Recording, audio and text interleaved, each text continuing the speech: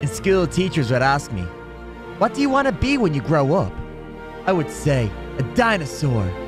They would laugh and say, You can't be a dinosaur. Who's laughing now? Follow your dreams, guys.